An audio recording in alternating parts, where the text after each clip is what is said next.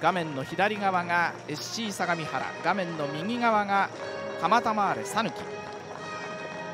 国吉慎吾さんが腹心に何か確認しまして今ホイッスルが鳴りました。ファーストハーフが始まりました。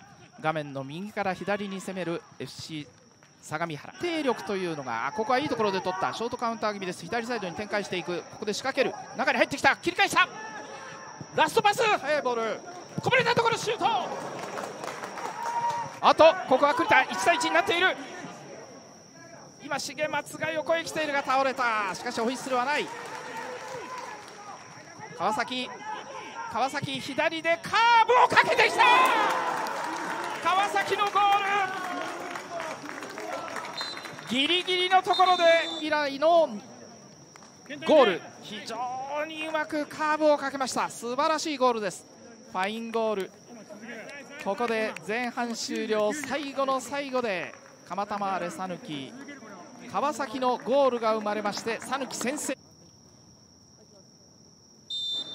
今笛が鳴りました。決まった !1 対1これは同点のシーンを思い切って蹴っていきました。清水も読んだんですが悔しそうでした。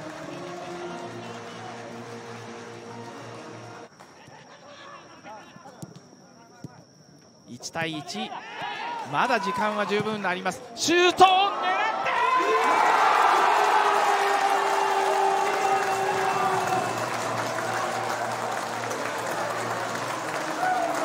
あっという間の逆転。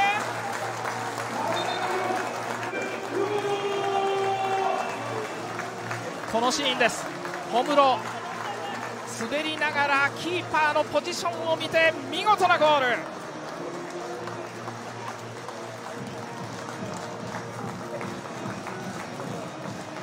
逆転に成功しました相模原。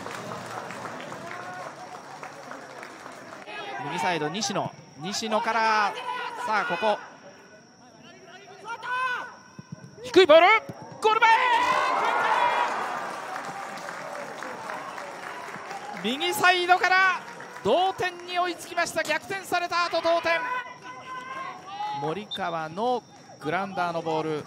今日は後半途中から